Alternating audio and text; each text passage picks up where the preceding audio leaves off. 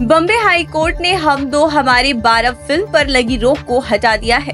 Court ने कहा कि इससे मुस्लिम समुदाय के खिलाफ कुछ भी आपत्तिजनक नहीं है।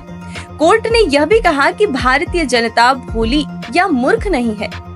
आपको बता दें कि अनु कपूर स्टार्टर फ़िल्म हम दो हमारी बारह फ़िल्म 7 जून को सिनेमा घरों में दस्तक देने वाली थी। लेकिन फ़िल्म को लेकर ऐसा विवाद छिड़ा कि मामला कोर्ट तक पहुँच गया। और 14 जून तक रिलीज़ डेट को टाल दिया गया। लेकिन 14 जून को भी फ़िल्म रिलीज़ नहीं हुई। अब आखिर इस फ़िल्म की कहानी क्या है? क्यों बार बार इस पर रोक लगी? मामला कोर्ट पहुँचा तो वहाँ क्या कुछ हुआ? सोशल मीडिया पर फ़िल्म के कंटेंट को लेकर तू तू मैमे की वजह क्या है? जानने के लिए वीडियो को आखिर तक देखना न भूले।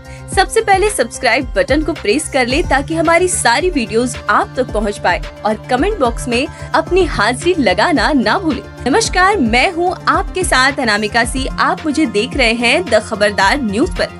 सबसे पहले तो यह जान लीजिए कि बॉम्बे हाई कोर्ट ने यह कह दिया कि यह फ़िल्म रिलीज़ होगी और इससे मुसलमानों के लिए किसी तरह का कुछ भी आपत्तिजनक नहीं पाया गया। अब आते हैं कि फ़िल्म की कहानी पर विवाद क्यों है और क्या है। पिछले पाँच साल अगस्त को फ़िल्म का एक पोस्टर रिलीज़ हुआ। इस पोस्टर से विवाद की शुरुआत हो गई।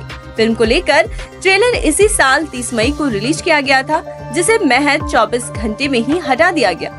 रिपोर्ट्स के मुताबिक जनसंख्या नियंत्रण के मुद्दे पर आधारित फ़िल्म के कुछ सीन्स और डायलॉग को लेकर काफ़ी आपत्तिजनक ज़ाहिर की गई।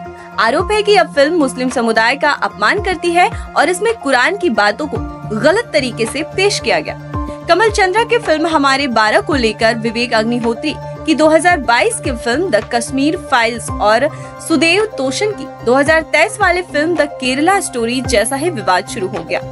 ऑल इंडिया मजलिस इत्तेहादुल मुस्लिम की महाराष्ट्र इकाई के अध्यक्ष इम्तियाज़ जलील ने आरोप लगाया कि फ़िल्म हम दो हमारे बारह एक समुदाय विशेष को निशाना बनाती है। उन्होंने कहा कि फ़िल्म मनोरंजन के लिए नहीं, बल्कि विवाद पैदा कर पैसे कमाने के ज़रिए के तौर पर बनाई गई है।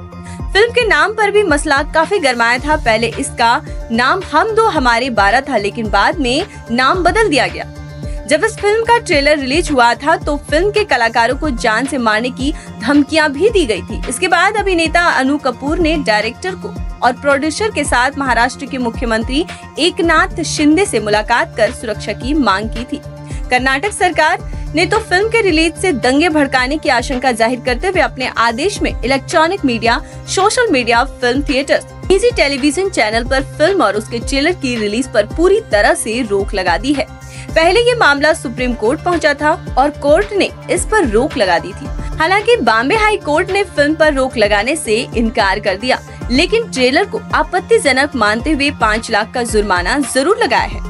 कोर्ट ने कहा कि उन्होंने हम दो हमारे बारह फ़िल्म देखी है और उसमें कुरान या मुस्लिम समुदाय के खिलाफ कुछ भी आपत्तिजनक नहीं पाया गया। साथ ही अदालत ने कहा कि फ़िल्म वास्तव में महिलाओं के उत्थान के उद्देश्य से बनाई गई है। अदालत ने कहा कि कुछ सीन्स और डायलॉग को लेकर आपत्ति थी, लेकिन अब वो भी हटा दिए गए हैं। वहीं दूसरी ओर इस फ़िल्म के पोस्टर सामने आने के बाद से ही सोशल मीडिया पर लोग तू तू मैं करने लग गए हैं, जैसे कि द केरला स्टोरी के वक्त पर हुआ था।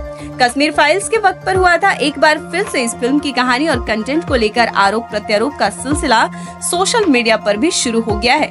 हालाँकि आपकी राय फ़िल्म पर क्या है, हमें ज़रूर बताएँ। क्या आप फ़िल्म देखने जाएँगे?